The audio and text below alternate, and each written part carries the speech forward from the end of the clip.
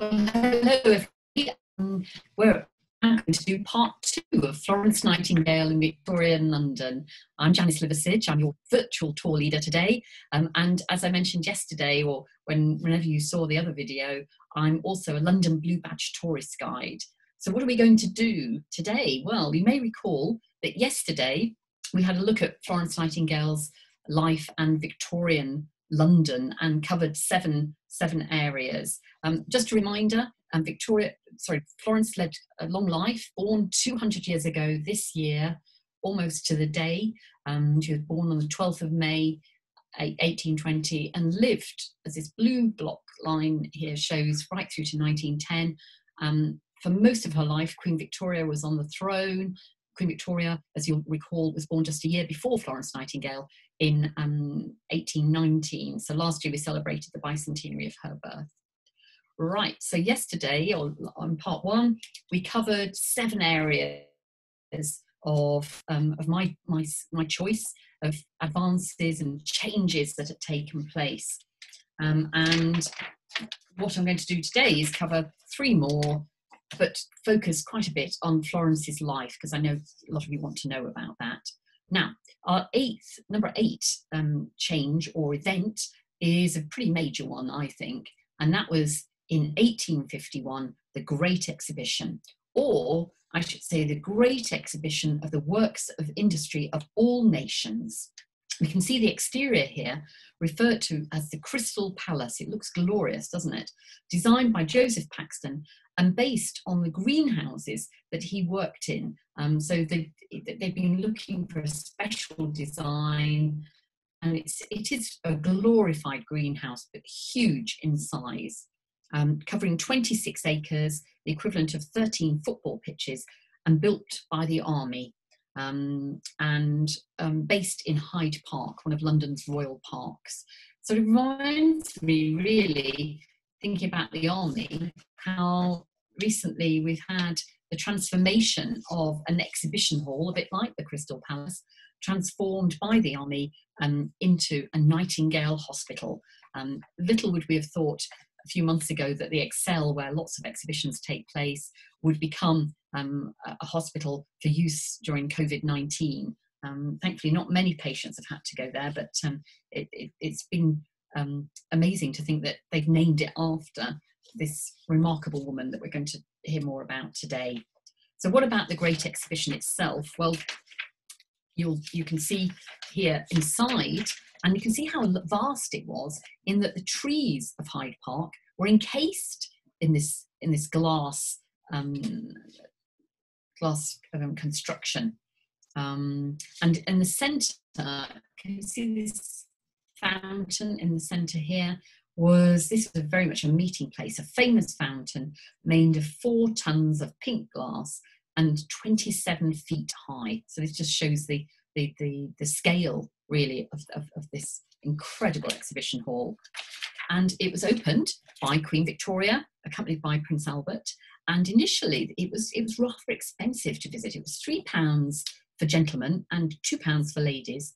But after a couple of weeks, it, after it had been opened on the 1st of May, um, it was reduced to just a shilling. And over the period of six months when it was open, six million people visited. That's a third of the UK's population at that time. And what did they see? What was exhibited? Well, everything from raw materials through to machinery, manufacturing, fine art. There were country zones. Um, a certain company called Schweppes provided soft drinks.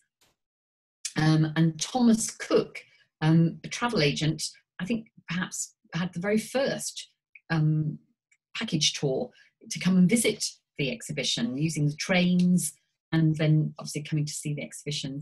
Um, there were the newfangled invention of waiting rooms and conveniences, and it cost a penny to use these conveniences, and that coined the phrase "I'm going to spend a penny," which even to this day we use in England um, if you're if you're going to visit the ladies or the gents.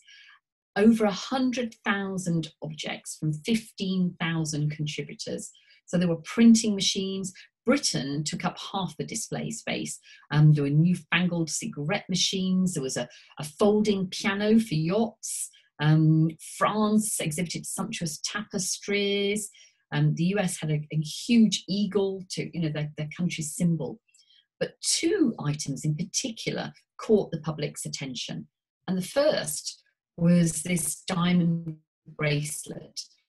In the center um, was what we now know as the Kohinoor diamond. This is a copy of the, of the diamond, it's, it's not the original, but it was in its uncut state at this stage and was presented to Queen Victoria, locked in a safe and lit by a dozen gas lamps. It didn't sparkle as much as it does today because after the exhibition it was cut. And here, uh, where I'm indicating, this is the Kohinoor diamond today, um, adorning the coronet of Queen Elizabeth, the Queen Mother's um, crown or um, crown, and can be seen at the Tower of London in the, in, in the Jewel House, where all the coronation crown jewels are displayed. And I'm hoping that the Tower of London will reopen soon and you'll be able to go and see this as one of the major exhibits.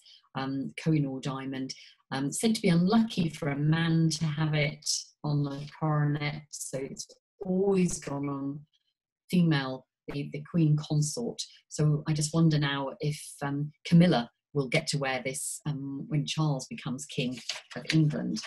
Now, secondly, um, a rather more, I suppose, unexpected item of curiosity. And this was a whimsical tableau of small stuffed animals, such as we can see here the kittens taking afternoon tea.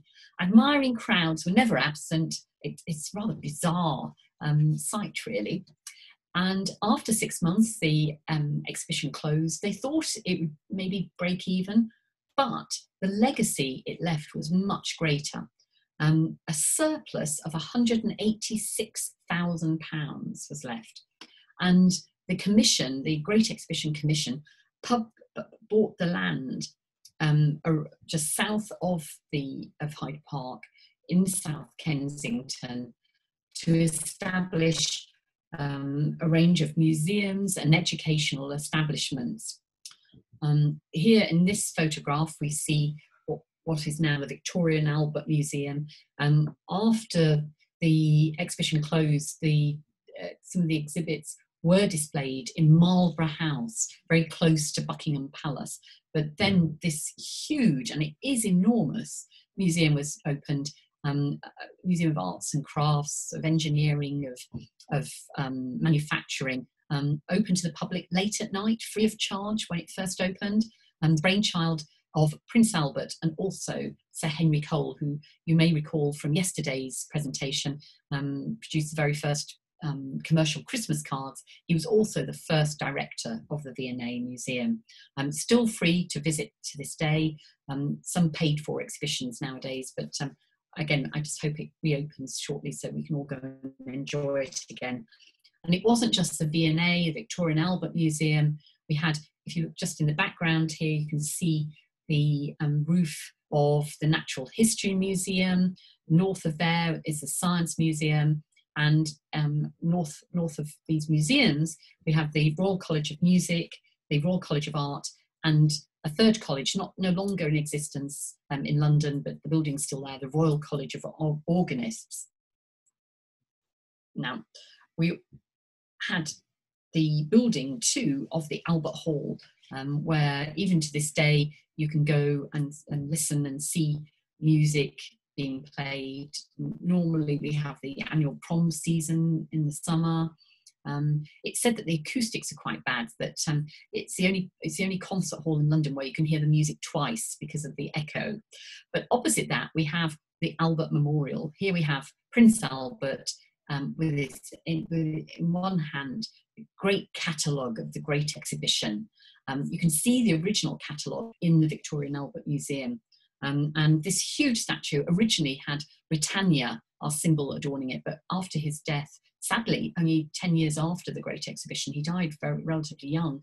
Um, Queen Victoria wanted um, statue of Albert to be put on. So this is what we have to this day. And he's surrounded by 178 notables, um, from history, including scientists, musicians, and artists. So you can come and see all of this if you come and visit the South Kensington area. Now, on a slightly different subject, another big change that was taking place in the Victorian period was that of burials. Now, the growth of population in London, we covered that yesterday, um, was such that churchyards um, close to churches were really, really overcrowded. This illustration is of Bunhill Fields in the city, um, and you can see in the background here, building with Shillibeer on it.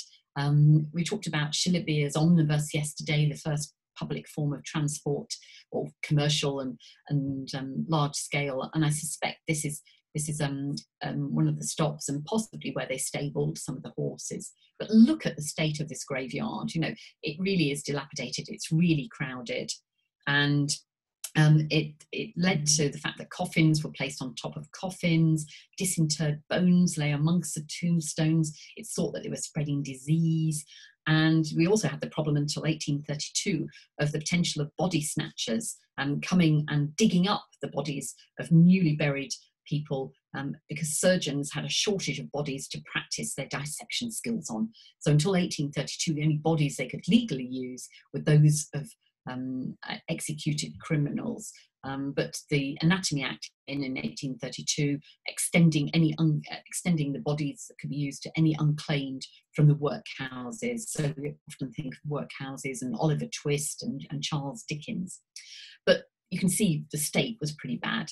And so the middle and upper classes began to make use of what we call garden cemeteries in rural suburbs, um, such as Kensal Green, one of the magnificent seven. Seven cemeteries established around the outskirts of London. Um, this one in 1832, 1839, Highgate, still in use today. And by the 1840s, it was generally accepted that urban graveyards such as as this one depicted here. This was a joint graveyard for St George the Martyr and St George's Bloomsbury, and um, were a danger to public health.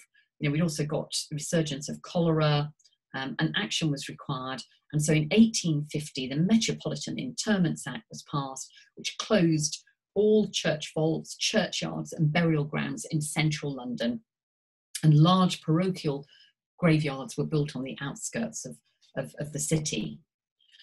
And what happened to those graveyards? Well, um, they were referred to as open air living rooms for the poor. And many of them became small parks and still in use today. And indeed, you can see this says courtesy of Friends of St George's Gardens. So, formerly burial grounds for two churches, now converted into a small garden. Really lovely place to visit, very close by um, what's now the Foundling Museum, um, where the Foundling Hospital was established in the 18th century. Not a hospital in, in terms of being sick, but a home for children, abandoned children. Um, and um, the Family Museum, again, another museum well worth a visit. You could combine it with a visit to the Charles Dickens Museum in Doughty Street that I talked about yesterday in the area where Great Ormond Street Hospital is based. not only do we have burial grounds um, being established in out of London, but also the introduction of crem- crematoriums. Now, what's that got to do with Michael Vaughan kissing a little urn? Well, I'll come on to that in a minute. Now, in 1874, a declaration was signed um, asking that, um, that cremation should be introduced. And in 1885, the first official cremation was undertaken. And in 1900, London's most famous crematorium, still in use today, Golders Green, was established. Now, we'll come on to the connection with Michael Vaughan because that was 1885. Um, we had the first official cremation, but just few years earlier, in 1882, Australia defeated England at the Oval for the first time, and there was widespread dismay amongst the public and the press um, after such a shambolic performance by the England team. And the victory gave the Australians their first win on English soil. And a mock obituary was posted um, in the Sporting Times, and it read, in affectionate, in affectionate remembrance of English cricket, which died at the Oval on the 29th of August 1882, deeply lamented by a large circle of sorrowing friends and acquaintances, R.I.P. MB, the body will be cremated and the ashes taken to Australia. So the urn that Michael Vaughan is kissing, because England have just won the Ashes series, um, the urn itself was made during the following year um, and is believed to contain the ashes of cricket bails. Um, it was given to the English captain of the time, Ivo, Ivo Bligh, on that, that tour of Australia as a gift. And it remained on his mantelpiece until 1927, when it was given to the MCC and the, the, the Marylebone Cricket Club. And the original urn, which we see here, remains in the Cricket Museum at Lords with a replica given to the winning team of the Test series between England and Australia. And I think it was in about 1901 that the term the Ashes was coined um, to describe the regular Test series between our two nations. Um, now, when lockdown ends, when life in London returns to normal, you should be able to go back to, you could go to um, Lord's Cricket Ground, kind of north of um, Baker Street, St John's Wood Station, and go to Lord's Cricket Ground where they have a really great museum about the history of cricket, and you can go and see this. Um, now, finally, we come on to major changes, and this is the role of women in the life of lifetime of Florence Nightingale and Queen Victoria. Here we have a portrait of Elizabeth Garrett Anderson, and her claim to fame is that she became the very first female to qualify as a doctor in Britain. Now, since she qualified in Britain, she didn't, in fact, she finally got her medical degree in France because there was no way she could um, qualify as a doctor at that stage as a female in this country. And not only was she the first female doctor, she became the first dean of a medic- female dean of a medical school and the first female mayor in England, in Aldeburgh, her family um, home. Um, and she'd followed um, in the news the horrors of the Crimean War and Florence Nightingale and the deaths of soldiers. And after qualifying as a doctor, um, she found that no hospital or public body would employ her as a woman. So she set up her own dispensary um, for, for poor women and only charged a penny to visit. Um, and in later years, she then consulted with Florence Nightingale on the design of her new hospital for women. Um, it was renamed, as you can see here, it says Elizabeth Garrett Anderson Hospital on on the side of the building. It was it was named Elizabeth Garrett Anderson Hospital after her death in 1918, but it opened many years earlier. As I say, Florence Nightingale um, really um, acted as an advisor on the design, and it's no longer a hospital, um, but it is the the building is now used as the headquarters of the trade union Unison, but they've incorporated a small free museum about Elizabeth Garrett Anderson's life, and that's well worth a visit. Now, in a family, to have one person who made a difference is, is pretty remarkable. But we also have Elizabeth's sister, who was also extraordinary, and so extraordinary in her own right that she's the first woman to be honoured by a statue in um, Parliament Square, the first female, and her name is Millicent Fawcett, who was a suffragist campaigning in the 19th century um, for the rights of women to vote in elections. Um, she she was the leader, as I said, the suffragist movement. Um, uh, another female, Emmeline Pankhurst, was the leader of the suffragette movement. They that that second movement was more about deeds, not words, whereas um, Millicent very much wanted debate, discussion, um, and ultimately, um, just after the death of Florence Nightingale and at the end of the First World War, women were given the vote um, and anyone aged over 30. And by 1928, they had the same rights to voting as men. So her statue, now in Parliament Square, only um, unveiled a couple of years ago on the um, centenary of women getting the right to vote. And we have two sisters here who did amazing things.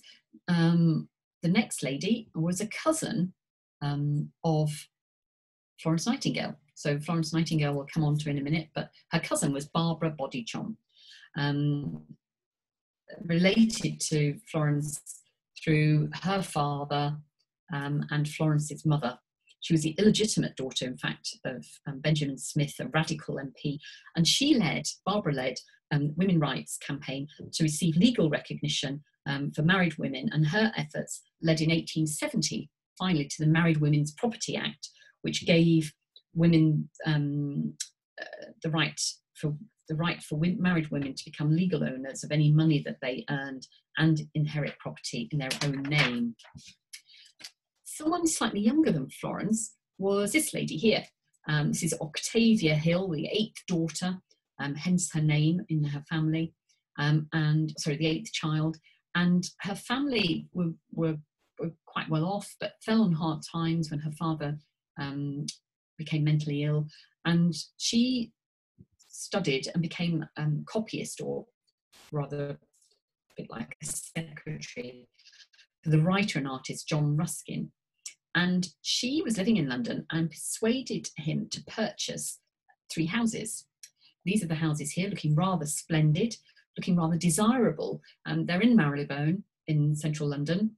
But in 19th century, this part of London, or this part of Marylebone in particular, was described as little hell. It's squalid, it was overcrowded.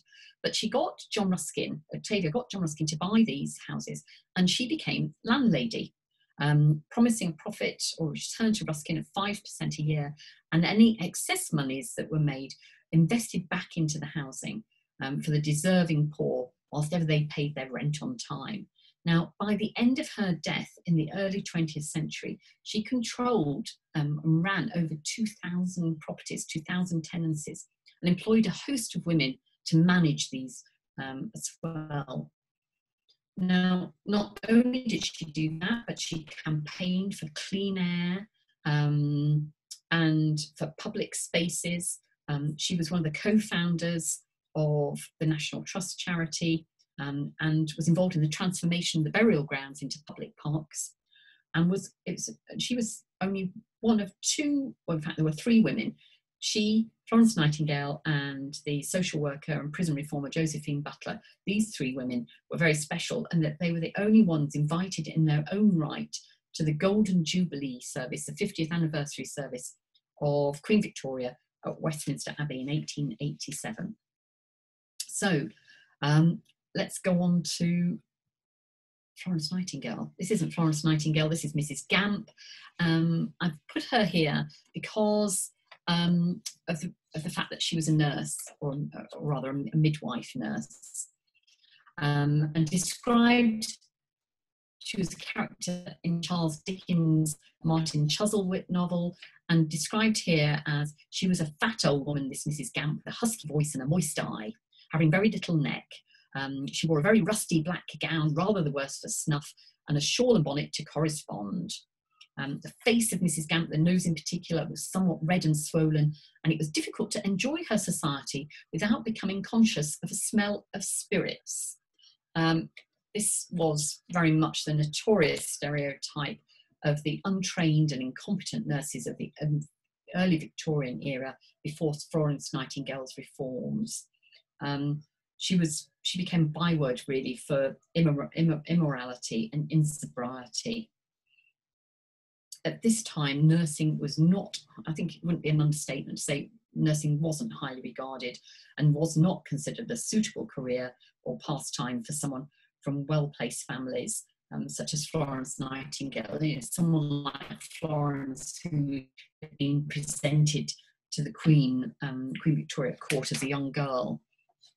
Um, she was um, so it, it, it, was often said, you know, they likened nursing to almost prostitution. It was seen in such a bad light. Um, and Florence, because of her, you know, well educated by her father, as we learnt yesterday, um, I mean, because she was so well educated, you know, she wasn't happy with the thought of a life, you know, sewing and playing music. And she felt a calling, felt a vocation to be a nurse now it took many years of I suppose campaigning her, with her own family um, to convince them that this is what she really wanted to do, and eventually um, managed to go to Germany uh, to Kaiserswerth and train for a few months as a nurse there. And on her return, um, she became superintendent of a hospital in 1853 for gentlewomen in Harley Street. Harley Street in um, still a medical quarter of London. Um, now, I took this picture not so long ago. This isn't the hospital itself. This is a building on the site of the hospital where she worked.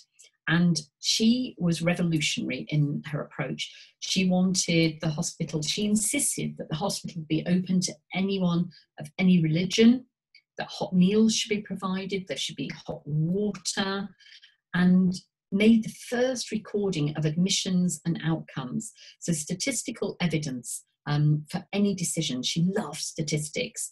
Um, it said that she enjoyed reading books on statistics far more than any history book or novel.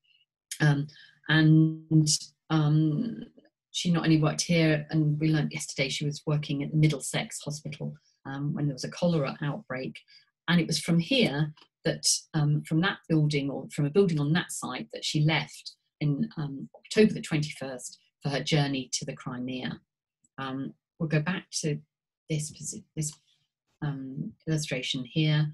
So she wrote to Sidney Herbert, who was not only the Secretary of State for War, but was a family friend. And she wrote to him, and their letters crossed in the post because she was offering her services at a time when he was writing to her saying, Would he lead a party of 38 nurses? And it wasn't easy for her. Um, she wasn't always successful. She needed assistance. But what she did when she, she got to the Crimea was, you know, she did improve the sanitation in the hospital so that more, more, um, more soldiers survived the conditions. And she wanted trained nurses. You know, she was insisting that they should wear a uniform for the first time, um, that they shouldn't flirt with patients, and, you know, the soldiers, and not go on duty in, in any way drunk. And in fact, one nurse, I think, was turned back at Waterloo Station on her way to Scutari because she was seemingly drunk. Um, and it really changed uh, the Crimea War really changed people's attitudes. I'm reading from Mark Bostridge's um, biography, Florence Nightingale, here. Um, he said that two groups emerged from the Crimean War with their status dramatically enhanced. The British Army had been shown that ordinary soldiers were no longer to be regarded as blackguards, but were deserving of respect as Christian men. At the same time, perception of nurses had also changed. The Nightingale mission of mercy had given a powerful boost to a new and positive image. There was hope that, with proper training, nursing might provide a suitable occupation for respectable middle class women. Now, on her return from um, Crimea, she wrote two books um, in 1859 based on some essays. One was notes on hospitals. Um, she was very keen on you know, fresh air and, and open wards, and notes on nursing. Um, you can see a copy of this here. It's still in publication today. And I think it'd be true to say that she's probably the patron saint of hand washing. Um, she'd be very, I think, out of all the um, coronavirus issues, she would be impressed by the fact that people are still um, concentrating on the need to wash hands. And in Notes on Nursing, she says, every nurse ought to be careful to wash her hands very frequently during the day if her face too, so much the better. Um, so as I say, this, these, these books issued very soon after she came back. One of her other great achievements was to become the first female to become a fellow of, of um, or what was then the Statistical Society of London. Um, and later the Royal Statistical Society. Society. She pioneered the use of data visualization, you know, graphs and diagrams to explain um, statistics. Um, and her focus was very much on um, evidence-based healthcare, you know, right from those early days in the Women's Hospital through to documenting the Crimean War um, and, and, later on with her role um, in improving sanitation. Now, she um, during the war, during the Crimean War, a fund was established for the training of nurses. Um, and I think it generated some £49,000, equivalent to about £2 million today. And that led to the founding of the Nightingale Nursing School.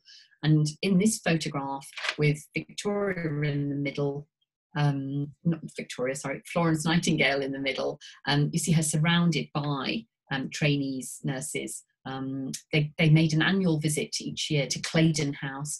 We've got Sir Harry Verney um, pictured also. Um, so they used to take the train out to Claydon um, to visit the house. So the school, training at school at St Thomas's Hospital was a model for many others in the future. Now, each year, um, on the anniversary of Florence's birth, on the 12th of May, she's com- commemorated each year at a service at Westminster Abbey. And this is where a chapel, um, the Nurses Memorial Chapel, which was actually rededicated to Florence um, 10 years ago on the 100th anniversary of her death. And this is a chapel to, um, in her name to remember the work and sacrifice made by her and subsequent generations of nurses, and in particular the chapel here um, for nurses who died during the Second World War. We have the Virgin Mary in the stained glass windows. We have the Virgin Mary and Child. We have to the right where I'm indicating this is St Luke, who's a physician, and at the base we've got kneeling. We've got a nurse and the rainbow, the rainbow that's become such a symbol of um, coronavirus um, that we're going through at the moment. And below and by the side of the nurse, um, the badges and coats of arms of all the countries of nurses um, from the Commonwealth countries who died um, during the Second World War. Sorry, during yeah during the Second World War. Now, um, particularly poignant at this time with nurses also dying um, whilst working um, in their roles in coronavirus, together with a whole range of other sorry healthcare workers and carers and so many other people, you know, sadly, sadly having died. Um, after her death, she didn't want a big, she was offered, or the family were offered a, a, a funeral at Westminster Abbey. She didn't want that. She didn't want a fuss. Um, there is a commemoration here, um, which is depicting her at the Crimea with uh, one of the soldiers. This is in um, St Paul's Cathedral in the crypt. So again, once um, the churches are, are, reopened, you could go and visit this um, crypt. And also, um, as I said, she didn't want to fuss. And so she's buried in Hampshire at Wellow. And this is her gravestone. Look at that. How simple is this? Just a cross, the initials FN, and just her dates of birth and, and of death. So such a simple thing. And yet, you know, she was a remarkable woman. Um, remembered today as a founder, as the founder of modern nursing, but much more than that, you know, female icon, Victorian polymath, um, healthcare pioneer, an influential statistician, and her legacy, you know, lives on. Um, you know, with the um, the nursing schools around the world, um, not just in London, and her life story is told at the Florence Nightingale Museum, um, which is based um, just next to St Thomas's Hospital. It's closed currently. I mentioned this yesterday. Um, but what they've done, this is one of the um, statistical diagrams, the coxcomb diagram that she that she um, used to illustrate the causes of death of, of, soldiers in the Crimean War. It's been repurposed here by the museum for the different stages and and and, and parts of her life. And you can see the exhibition. It was physical exhibition, but because of, of coronavirus, it's now a, virtual exhibition. You can go online. There's the um, URL here at the top, florencenightingale.co.uk, 200 exhibits. It's 200, it's actually 199. They want us um, to nominate the, the 200th exhibit item. Maybe it's going to be the, one of the Nightingale hospitals. And not only that, but in honor, in honor of the bicentenary of her birth, um, in 2020, the World Health Organization has named this year as the International Year of the Nurse and Midwife. Um, so we've covered 10 areas. We have done three this afternoon, um, the ex- Great Exhibition, Burials and the Role of Women. Jon Baines Tours plans to run our Florence Nightingale tour next May. Um, we were planning to do it now in 2020, but we've had to delay it, but it will take place in 2021. So do get in touch with Jon Baines Tours if you're interested. There's a few places left. Um, we'll be including walks um, about Florence Nightingale, so some shops, some places um, where she lived, where she worked, that will all be included. And then, just last but not least, a final call out. We want to save the museum. We want to have it there so that when coronavirus is over, we can go and visit this um, museum dedicated to her life. Um, so if you can support it in any way with a small donation or buying some merchandise, um, again, here's the links and references. And thank you very much for watching and listening. And I hope to see some of you perhaps on future Jon Baines tours, either the Florence Nightingale one or indeed some of the medical tours or general tours that the company does um, next year, or perhaps later this year or next year and onwards when I'm a tour leader. Thank you very much.